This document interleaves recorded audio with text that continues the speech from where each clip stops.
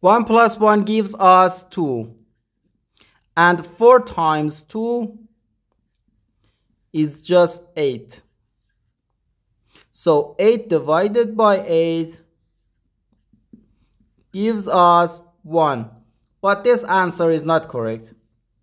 Because according to the order of operations, first we have to do parentheses, then exponents, then multiplication or division, and finally addition or subtraction. Remember that multiplication and division have equal priority and we have to work from left to right.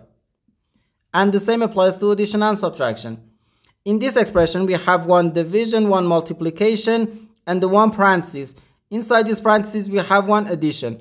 Here we have a multiplication because in mathematics when a number is placed next to parentheses it means multiplication and we usually don't write a multiplication sign for brevity. Okay, so according to the PEMDAS, first we have to do this parentheses, then this division and finally this multiplication. If we do this multiplication before this division it is wrong. So first this parenthesis. Inside this parenthesis we have 1 plus 1 which gives us 2. So 8 divided by 4 then times 2.